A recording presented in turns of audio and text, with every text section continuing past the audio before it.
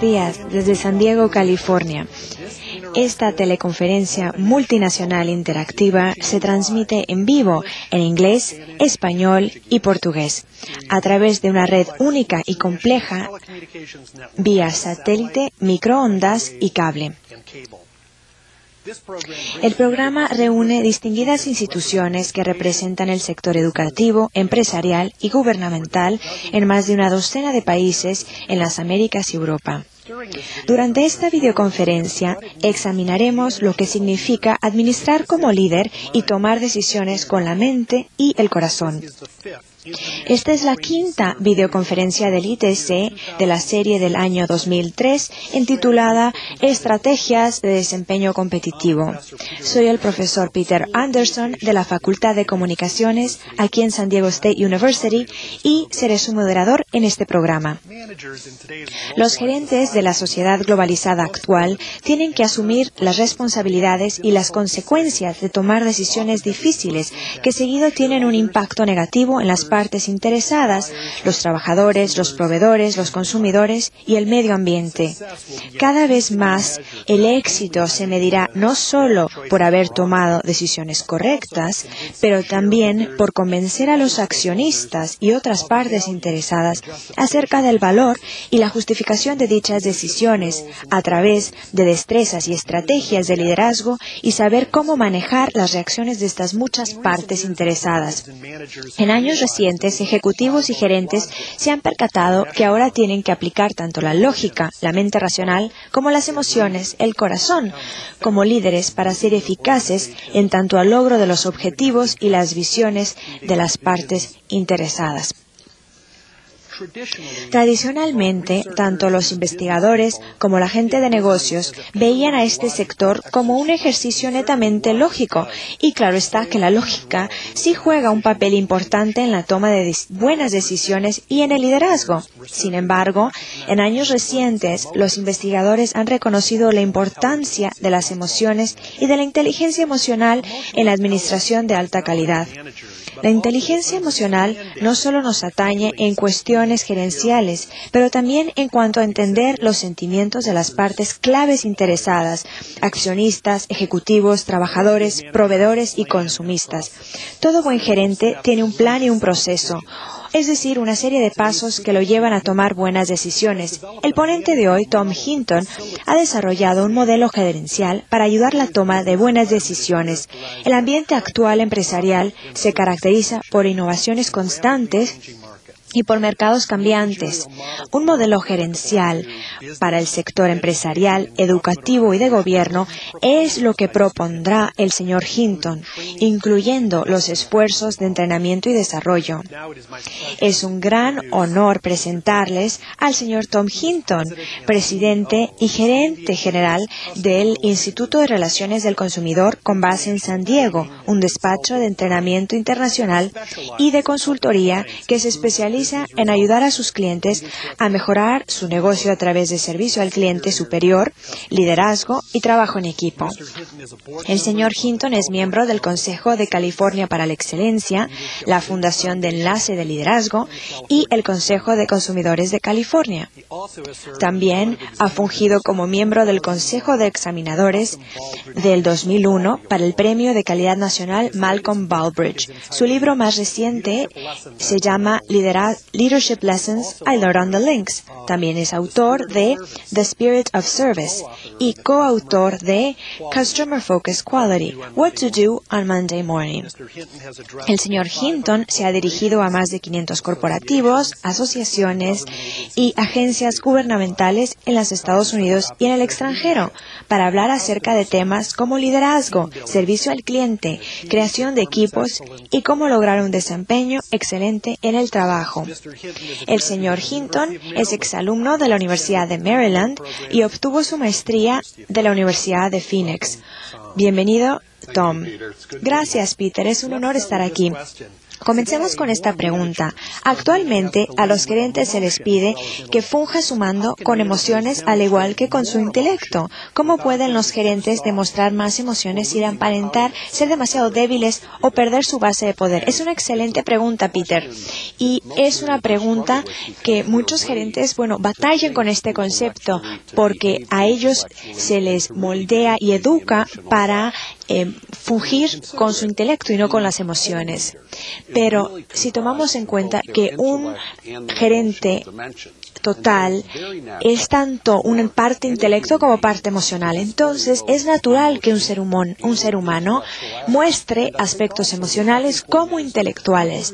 Y yo creo que número dos, también las personas responden primero al lado emocional de un líder y también así sale a relucir su dimensión creativa. Yo creo que es muy importante tener tanto emoción como intelecto si quieres ser un gerente exitoso. Entonces los dos son, se ayudan mutuamente. Bueno, por estos excelentes comentarios y comencemos ahora con el módulo 1.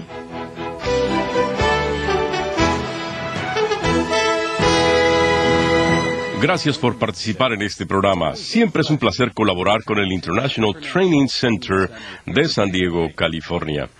El día de hoy vamos a presentar uno de los aspectos más fascinantes del concepto de liderazgo, que es el arte de tomar decisiones.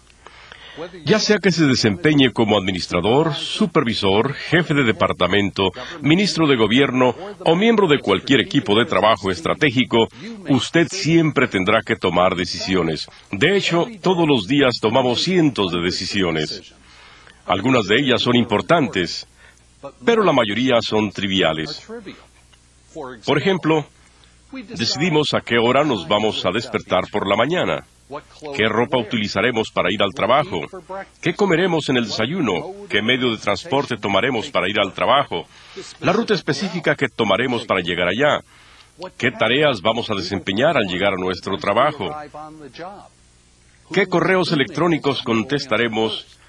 ¿Hacia qué proyectos nos enfocaremos primero? ¿Qué acciones tomaremos para acercarnos más al cumplimiento de nuestras metas y objetivos y otras? La mayoría de las decisiones las consideramos no de mucha importancia en cuanto a su naturaleza.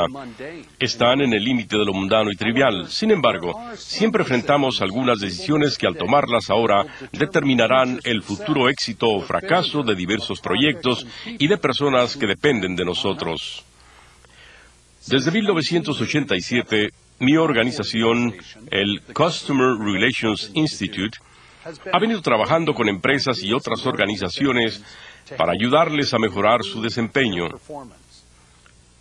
Una de las áreas claves que hemos estudiado es el arte de tomar mejores decisiones, ya que buena parte del éxito de un líder se basa en las decisiones que él o ella toma. Por lo tanto, es muy importante que un líder tenga a la mano un buen modelo de toma de decisiones y en verdad lo utilice. El día de hoy vamos a analizar tres aspectos claves del liderazgo y el arte de tomar decisiones. Primero, les presentaré un modelo de toma de decisiones para ayudarles a identificar cómo tomar mejores decisiones. Segundo, analizaremos los estilos de liderazgo y específicamente cómo ciertos tipos de líderes toman decisiones. Por cierto, cada uno de ustedes tiene un estilo único de liderazgo y creo que se sorprenderá de lo que puede aprender usted mismo al saberlo. Tercero, hablaremos de cómo podemos balancear el corazón y la mente al tomar decisiones. Bueno, comencemos con la primera parte. En muchos aspectos, las decisiones que tomamos en nuestras vidas personales y profesionales son similares a las de jugar un juego de ajedrez. Si usted ha jugado alguna vez ajedrez, usted sabrá que dos jugadores se turnan para mover a sus jugadores dentro de un tablero con la esperanza de capturar el rey del oponente. La mayor parte del juego se juega sin mucha emoción y las piezas se mueven a través del tablero sin ninguna señal aparente de peligro. Pero, a medida que avanza el juego de ajedrez, cada movida que realiza un jugador tendrá cada vez más serias consecuencias después. De hecho, cualquier movida en particular puede representar su éxito o fracaso más adelante en el juego. Mi mensaje aquí es que los líderes deben reconocer que cada decisión que ellos toman en el camino contribuirá de alguna manera al resultado final. Y aunque nadie es perfecto y todos cometemos errores, yo considero que la clave de la toma de decisiones exitosa es contar con un proceso lógico que le ayude a uno a tomar la decisión correcta la primera vez. Ustedes pueden ver en la pantalla una interesante gráfica de cuatro cuadrantes. En el cuadrante superior izquierdo podemos leer haciendo las cosas incorrectas de la manera correcta. En el cuadrante superior derecho se lee haciendo las cosas incorrectas de la manera incorrecta. En el cuadrante inferior izquierdo leemos haciendo las cosas correctas de la manera incorrecta. Y finalmente, el cuadrante inferior derecho, haciendo las cosas correctas de la manera correcta. A primera vista, la mejor respuesta a esta gráfica parece bastante obvia. Por supuesto, todos queremos estar en el cuadrante inferior derecho. Todos queremos hacer las cosas correctas de la manera correcta. Pero todos sabemos por experiencia que esto rara vez sucede así. ¿Por qué? Bueno, por una parte, la mayoría de las personas no utilizan un modelo de toma de decisiones ya probado al tomar sus decisiones. Simplemente ellas toman sus decisiones basadas en datos inadecuados, hechos no confiables y muchas veces con información equivocada. Estas condiciones hacen que frecuentemente tomemos decisiones no tan perfectas. Otra razón del por qué muchas veces nos encajonamos en algunos de los tres cuadrantes no deseados es la presión. Nos enfrentamos a muchas presiones de nuestro jefe o de nuestras organizaciones para cumplir con nuestro trabajo. Nos enfrentamos también a presiones de tiempo. Tenemos también restricciones financieras y de presupuesto. Nos enfrentamos a la presión de las personas inadecuadas para realizar el trabajo o el equipo equivocado para la realización de ciertas tareas. También nos enfrentamos a la presión de tener que adaptar algo cuadrado a lo que es circular. Es decir, se nos pide que hagamos lo imposible o lo irracional por personas que no han diseñado apropiadamente su proceso de toma de decisiones. Y por lo tanto, las presiones son la causa del por qué hacemos las cosas incorrectas de la manera incorrecta, o inclusive hacer las cosas correctas de la manera incorrecta. Por lo tanto, permítanme ofrecerles una mejor manera de tomar decisiones. Nosotros le llamamos el modelo CRI de tomar decisiones. Esta es una herramienta muy confiable que ustedes pueden utilizar para mejorar la forma de tomar sus decisiones y para, ojalá, lograr mejores resultados. El modelo CRI consiste de 10 pasos. Repasemos estos 10 pasos y enseguida discutiremos brevemente cada uno. Número 1. Defina la verdadera pregunta o problema de fondo. Número 2. Involucre al tomador de decisiones adecuado. 3 determine su nivel de riesgo aceptable. Cuatro, defina las variables que impactan el verdadero problema o la pregunta. Número cinco, reúna datos confiables e información útil. Número seis, analice los datos y la información. Número siete, establezca los requerimientos legales y éticos para cada solución. Número 8. Comuníquese con todas las partes interesadas. Número 9. Implemente su decisión.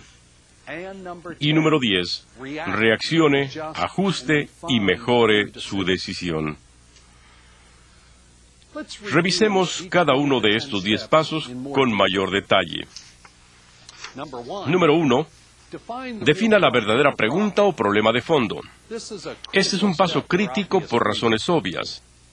Muy seguido, las organizaciones se distraen y se descarrilan por enfocarse hacia aspectos de interés menor que se relacionan con el verdadero problema de fondo y que de hecho no son el principal problema en cuestión. Es muy importante que cuando usted vaya a tomar una decisión, primero determine cuál es la verdadera pregunta o problema que debemos contestar. Número dos, Involucre al tomador de decisiones adecuado. ¿Cuántas veces ha usted experimentado una situación en la que se requiere que se tome una decisión, pero que se le está pidiendo a la persona inadecuada que tome esa decisión? Piénselo bien. Yo lo veo todos los días en tiendas de menudeo y en aeropuertos. Un cliente insatisfecho se queja con un empleado de ventanilla sobre los procedimientos o políticas no amigables de una empresa. Pero los empleados de ventanilla no son los que fijan las reglas y políticas. Ellos meramente las ejecutan. Si usted desea lograr una resolución a este tipo de problemas, usted tendrá primero que hablar con el que toma las decisiones o con alguien que tiene el nivel de autoridad necesario para poder cambiar las reglas. Esto es lo mismo cuando se trata de la toma de decisiones en nuestras organizaciones. Asegúrese que las personas correctas se involucren en sus procesos de decisiones desde el principio, para que el proceso continúe fluyendo y se pueda tomar alguna decisión de mejora. Número tres, determine su nivel de riesgo aceptable. Cada decisión tiene consecuencias. Por lo tanto, es muy importante que usted evalúe lo que podría pasar si usted implementa la opción A o la opción B. Una parte importante de tomar decisiones es comparar el peso de los objetivos contra la negociación de factores. Si, por ejemplo, una empresa de modas decide expandir su línea de productos de vestido para incluir vestimenta médica, dicha decisión ciertamente tendrá riesgos que deberán ser evaluados. Finalmente, la pregunta que se debe hacer y se debe contestar es, ¿puede su empresa aguantar los niveles de riesgo asociados con su decisión? Número cuatro. Defina las variables que impactan el verdadero problema o la pregunta. Las organizaciones que ya se han enfrentado a grandes decisiones ya conocen muchas de las variables que tienden a impactar los verdaderos problemas o preguntas que surgen. Pero esta lista de variables dependerá de la naturaleza de cada problema. A continuación les ofrezco una breve lista de la variable que utilizamos en el Customer Relations Institute y que ustedes necesitarán considerar siempre al enfrentar cualquier tipo de problema quién, qué, cuándo, dónde, cómo, por qué, costo, impacto financiero a la organización, cambios de horarios, alcance del cambio, riesgos, beneficios, responsabilidades, planes de contingencia, sentido de urgencia, obligaciones contractuales y legales, desempeño de proveedores, requerimientos de recursos humanos, impacto en la infraestructura de la organización, proyecciones de tiempo, intuición y preocupaciones de empleados. Número 5. Reúna datos confiables e información útil. Utilizando la lista de variables que acabo de mencionar, comience a desarrollar datos confiables e información útil basada en hechos y pruebas. Confirme los hechos y básese en datos que tengan sustento. Apóyese para esto en sus empleados, proveedores y clientes claves. También tome en cuenta asociaciones profesionales, universidades y agencias de gobierno como posibles fuentes de datos e información confiables. Número 6. Analice los datos y la información. Una vez que tiene los datos necesarios, usted necesitará un pequeño equipo de trabajo para revisarlos, interpretarlos y extraer conclusiones. Alguien de su equipo de trabajo tendrá que ser el responsable para presentar un caso real al nivel directivo para que se pueda tomar una decisión.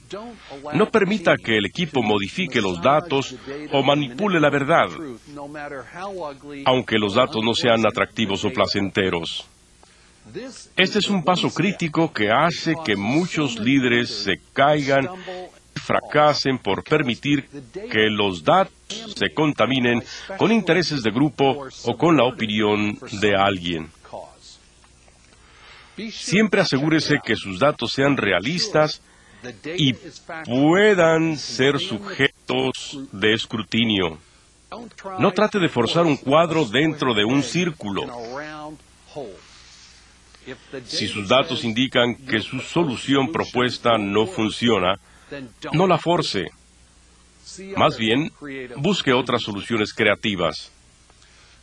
Número 7 establezca requerimientos legales y éticos para cada solución. Las organizaciones progresistas tratan de no detener el proceso creativo de tormenta de ideas para generar soluciones.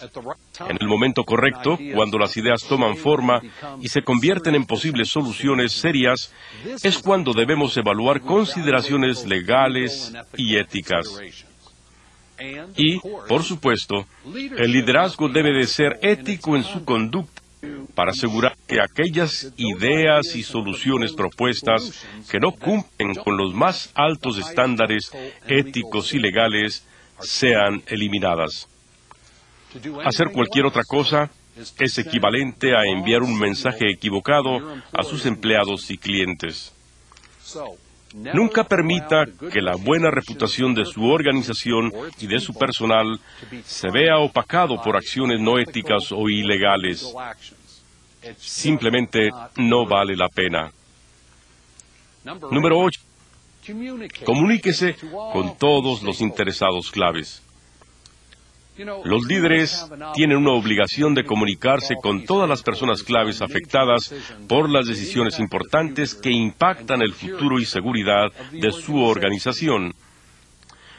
La mejor forma de comunicarse es siendo honesto y abierto, invitando la retroalimentación de los trabajadores a todos los niveles de la organización. Número 9. Implemente su decisión. Una vez más, este paso pudiera parecer obvio, pero usted se sorprenderá de saber qué tantos líderes llegan a este punto y de repente se congelan. Nosotros llamamos a esto parálisis por análisis. Aunque el decidir no tomar acción es en sí una decisión, no permita que su organización se paralice por preocupación temor o la incertidumbre de posibles eventos. Este tipo de reacción solo sirve como un reproche a su inadecuado proceso de toma de decisiones y al hecho que usted lo manejó mal o nunca obtuvo los datos correctos o la verdad de los hechos. Y número 10, reaccione, ajuste y mejore su decisión. Finalmente, una vez que usted haya tomado una decisión, esté listo para reaccionar, ajustar y mejorar su decisión. Como ya le hice notar antes, muy pocas decisiones son en realidad perfectas. Por lo tanto, todos debemos esperar tener que ir mejorando nuestra decisión, así como el proceso de toma de decisiones que aplicamos. También debemos estar preparados para reaccionar. La reacción puede ser positiva o negativa dependiendo de la severidad de la decisión. Una decisión del presidente de alguna empresa importante de energéticos de elevar el costo de un barril de petróleo pudiera provocar muchas reacciones. Algunos ciudadanos afectados pudieran lanzarse a manifestaciones de protesta, mientras que otros pudieran congestionar las gasolineras para los tanques de gasolina de sus vehículos. Si dicho directivo no toma estas posibilidades en cuenta, podría generar caos y repercusiones económicas serias. Asegúrese de incluir esta última consideración en todas las decisiones importantes que usted tome. Si no lo hace, las condiciones de mercado o la reacción del público consumidor le podría obligar a cambiar su decisión original inesperadamente. Asimismo, todo modelo sólido de toma de decisiones se adhiere a ciertos principios. A continuación, me gustaría ofrecerles algunos puntos de referencia que pueden utilizar para evaluar si el proceso de toma de decisiones que están utilizando es adecuado. Número uno, seleccione y aplique estándares de ética para cada decisión importante. Número dos, siempre esté adherido a la visión y misión de su organización. Asimismo, promueva los valores de trabajo claves sobre los cuales se sustenta su organización. Número tres, establezca un objetivo clave para cada decisión importante. ¿Qué es lo que usted desea lograr? Número cuatro, entienda su ambiente de negocios y los factores globales que pudieran impactar a su organización como resultado de cualquier decisión que usted tome. Y número cinco, defienda su decisión si cree que es la decisión correcta. Cuando regresemos de la sesión de preguntas y respuestas, hablaremos de estilos de liderazgo y de cómo diferentes tipos de personas pueden tomar decisiones óptimamente con el corazón y con la mente. Demos inicio a la primera sesión de preguntas y respuestas. Trataremos de responder al mayor número de preguntas posible. Es por eso que les pedimos que solo se haga una llamada por llamada, por llamada telefónica, una pregunta más bien. Y podrán llamar al estudio directamente al teléfono fax que aparece en pantalla.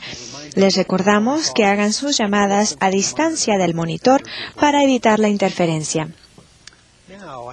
Ahora creo que nuestra primera pregunta eh, llega de Sinaloa, del Colegio de Bachilleres del Estado de Sinaloa. Adelante, México, su pregunta, por favor. Uh, hablo de la zona 03 de Guamuchi, Sinaloa. En el caso del sector educativo, para asegurar un proceso de toma de decisiones adecuado, es imprescindible entender los factores globales que impactan a las organizaciones. Pero ¿cómo entender estos factores globales en un mundo tan cambiante y diverso para poder tomar las decisiones adecuadas al respecto? Gracias.